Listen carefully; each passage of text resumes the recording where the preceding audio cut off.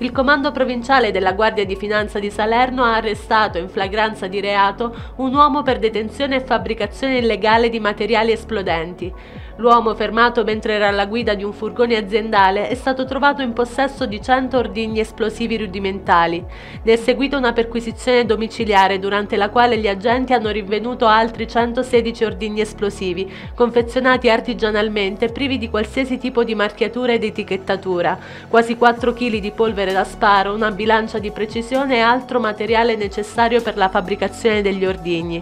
L'operazione che si è tenuta nel capoluogo rientra nella rete dei controlli in vista del prossimo Capodanno. La Guardia di Finanza di Salerno infatti effettuerà una serie di controlli in queste ore, sia per la tutela del commercio legale, sia per evitare problematiche relative allo scoppio dei fuochi pirotecnici.